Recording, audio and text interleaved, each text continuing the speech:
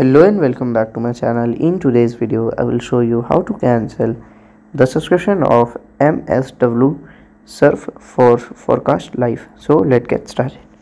So here we can see MSW app. Okay. So to cancel the subscription of here, we will just open it here. Okay.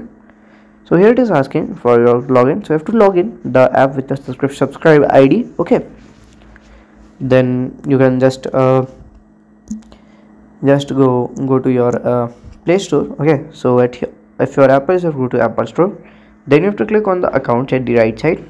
Then here you have to select the account whichever account you have taken subscription from.